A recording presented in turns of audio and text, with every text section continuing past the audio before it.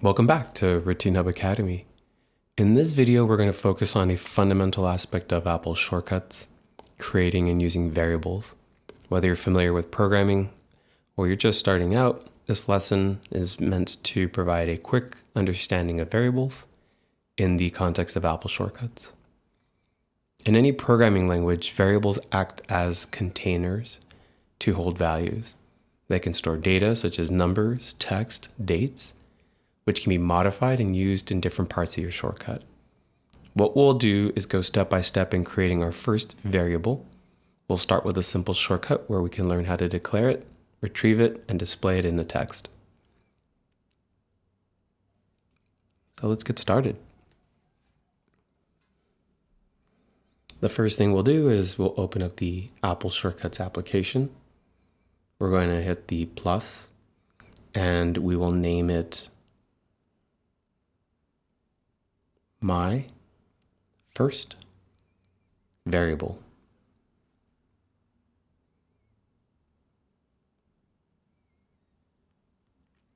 The next thing we'll do is we will add an action and in the find, type in the word date. You'll get the date action right here. So what this will do first do is capture the current date and time. The next step is we will set a variable. So we're going to get that date and time and assign it. In the next action suggestions, you have set variable. If you don't see that, you can always go down to the bottom finder and type set variable.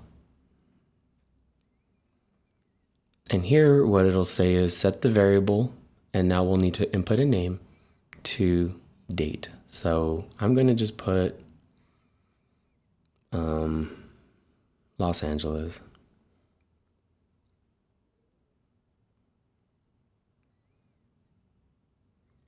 So we're going to name the current date and time to Los Angeles. Next thing we're going to do is we will retrieve that variable. And the way you do that is by down below at the finder, select the search and type get variable. And now what we'll do is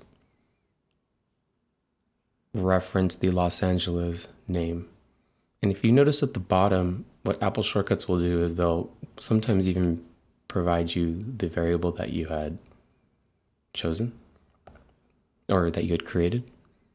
And now we'll do one final thing. We're going to go to search and type in show result.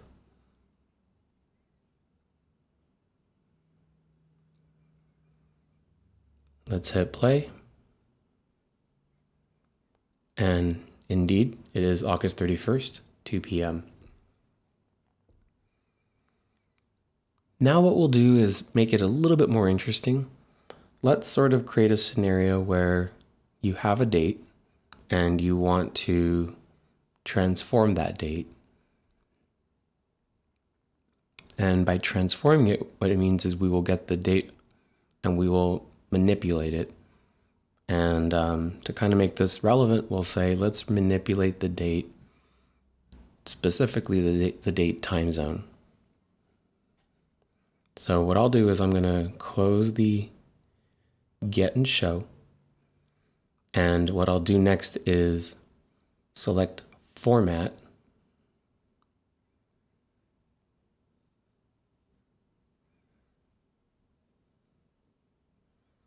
Um, my mistake. I meant to type in time zone, convert time zone.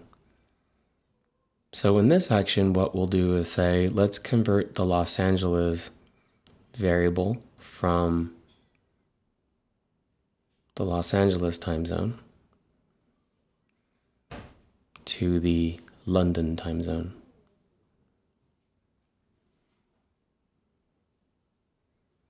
And then we will set that variable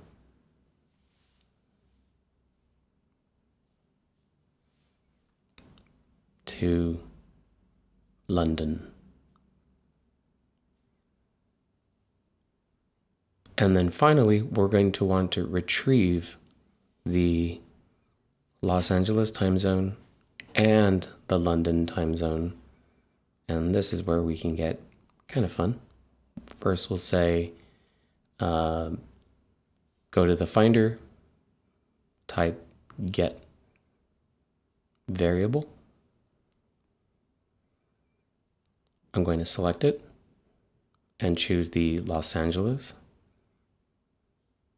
Next, we're going to go back to the Finder and select Show Result.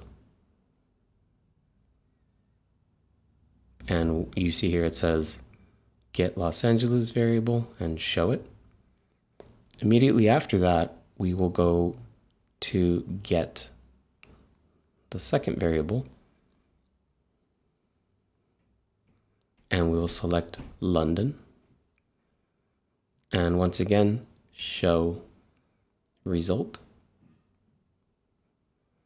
And this time it'll pick the London object. I already did that by default. So when we're done with that, we will now hit done. And let's tap. My first variable is August 31st at 2 p.m the distance between Los Angeles or the time zone difference between LA and London, I believe, is about eight hours. So we'll hit done. And now we'll see that it says same time zone, 10 p.m. And that's accurate. Hit done again. And there you have it. What we've just completed is a way for us to get the date time of your current device, where your current device is located, assign that to one variable, in our case, Los Angeles, then transform the date to be at a different time zone, in that case, London, and set that variable to be London. And then finally, retrieve both of those date objects and show them.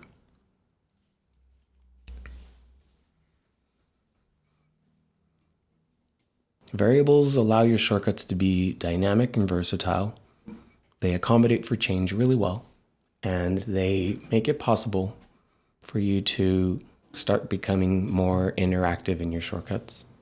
So we'll continue this some more, but in the meantime, thank you and look forward to discussing the next topic in the next video.